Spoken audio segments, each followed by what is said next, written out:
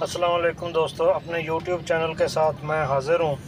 आज की मेरी वीडियो जो है वो इस बारे में है कि कुछ लोग आ, फूल उगाते हैं अपने सहन में अपने बाग में आ, अपनी छत पे।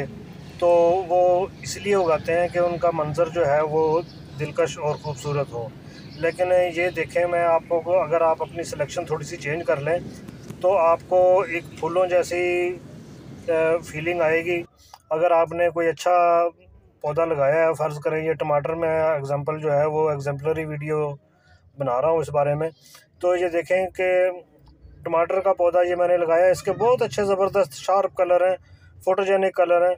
तो अगर आप किसी और फल की, फूल की बजाय ये इस तरह के टमाटर वगैरह अगर आप लगा दें तो उसका ये होता है कि खूबसूरती भी ज़्यादा हो जाती है और दूसरा ये कि आपको सब्ज़ियाँ भी मिल जाती हैं। इनका कलर इंतहाई शानदार, मुख्तलिफ़ कलर में ये अवेलेबल होते हैं। येलो कलर हो गया, पिंक कलर हो गया, राइड हो गया रेड हो गया और इसके अलावा कई कलर हैं। तो आप अपनी मर्ज़ी से ले लेते हैं। कुछ ज़रूरी नहीं कि वो बड़े और बड़े साइज़ के हों। चेरी टमाटर अगर आप लगाएँ तो उसमें बहुत अच्छे टमाटर लगते हैं और at the end of the day एक हफ़्ता तक या दस दिन तक वो आपके पौधे के ऊपर लगा रहेगा। आपको खूबसूरती जो है वो प्रोवाइड करता रहेगा। उसके बाद होता क्या है कि आप इसको उतार लेते हैं। जैसे फूल है, फूल तो दो दिन, तीन दिन, चार दिन के लिए उगते हैं तो उसके बाद वो ख़त्म हो जाते हैं, उसकी जगह नया फूल आ जाता है। पौधों में देखें, शानदार किस्म के ये चीज़ जो लगती है, ये भली लगती है आँखों को भी और खाने में भी। इसलिए सब्ज़ियों को आप ज़्यादा प्रमोट करें। वैसे भी सब्ज़ियाँ जो हैं वो आजकल अप्रोच से बाहर होती जा रही हैं, महँगी होती जा रही हैं दिन ब दिन। तो ये आपको एक तो आप फूलों जितनी मेहनत होती है तो इस पर भी आपकी मेहनत होती है, लेकिन at the end of the day आपको ये जो आपने मेहनत की होती है, उसका आपको सिला जो है वो इस शक्ल में मिल जाता है कि जब ये टमाटर बिल्कुल पक के तैयार हो जाता है तो उसमें से एक दो टमाटर जो है वो उसके बीज आप प्रिजर्व कर लें।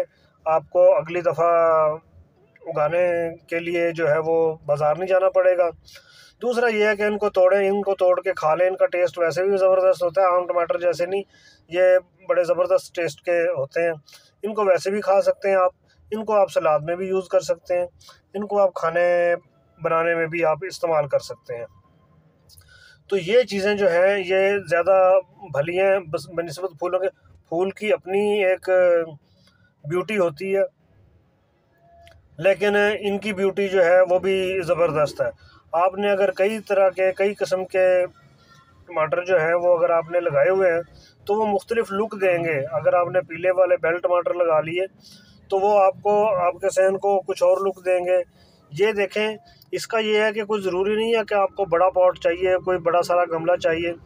ये मैंने स्प्राइट की बोतल जो पी के हम लोग फेंक देते हैं रिसाइकल के लिए, वो उसको मैंने रिसाइकल किया। उसमें मैंने मट्टी भर के, मट्टी आपने अच्छी भरनी है, उसमें कंपोजिट वगैरह का कोई ख्याल रखना है, नामियाती खाद जो होती है वो मिक्स कर लें, आम मट्टी जो है वो मिक्स कर लें, पत्तों की खाद जो है वो मिक्स करके आप पौधा लगाएँ।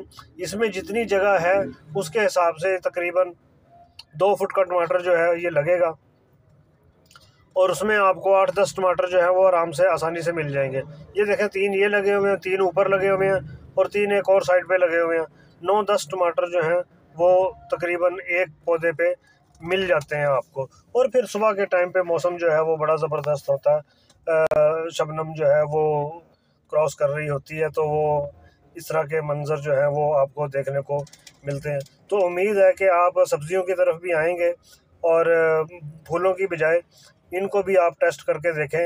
ये बड़े ज़बरदस्त चीज़ जो है वो आपको अवेलेबल होगी।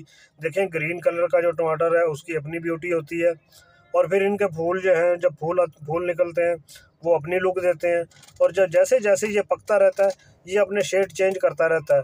फूल का एक ही शेड होता है, उसी को आप देखते रहें, तीन दिन के बाद, चार दिन के बाद मुरझा जाएगा। ये पहले फूल निकलता है, फिर छोटा होता है, फिर बड़ा होता है, फिर ये ग्रीन टमाटर बनता है, फिर ये येलो बनता है, फिर ये रेड बनता है। तो इस तरह की वैरायटी जो है, ये आपको इन पौधों में इंशाल्लाह मिलती रहेगी और आपकी आँखों को भी अच्छा लगेगा, आपको जो सहन है, उसकी ब्यूटी जो है, उसमें भी शानदार इजाफा होगा। इसके साथ ही मुझे इजाज़त दीजिए। अल्लाह हाफिज़। और उम्मीद है कि आपका ये शौक़ जो है, ये सब्ज़ियों की तरफ़ जो है वो जाएगा, क्योंकि टमाटर भी आजकल काफ़ी महँगे हो गए हैं। खुदा हाफिज़।